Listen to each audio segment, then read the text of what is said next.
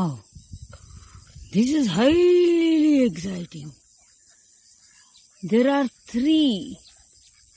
See, see, there are the three wild ducks swimming in the lake. Might have got attracted.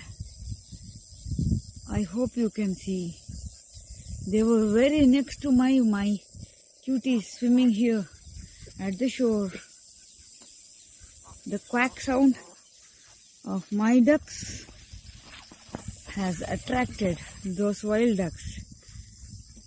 I wonder if I move, stay calm here at the shore, not making much noise.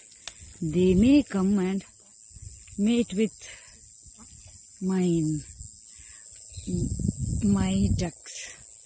How exciting will it be to get the offsprings of crossbreed between my my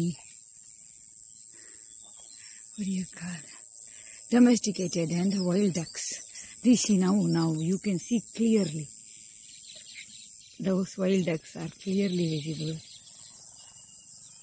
Plain, swim, swimming on the plain waters at the middle of the screen.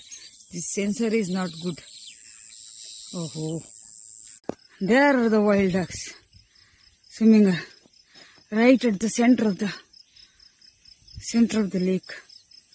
And here are my, oh, they have come a long way. My ducks, they have come a long way. They have preferred to stay at the shore area. Here are my cuties. My goodness, how am I going to take them back, man? I want to take them back home. This is highly risky. Why? Because the place where they are grazing, it's a risky place. Any wild animal can see those those wild ducks they can easily fly off fly off i- with if they face any danger what can these do huh? They doesn't know flying. Huh? domesticated fellas. Huh?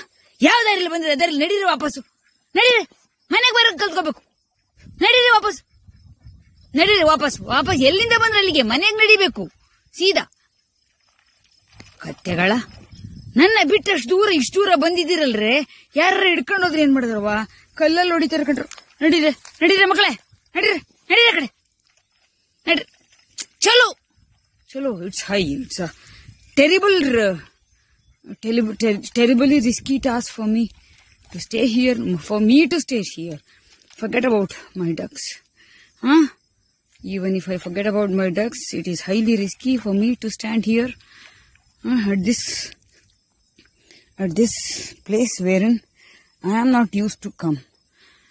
I'm not used to come to this place and I don't know what is there lying below for me.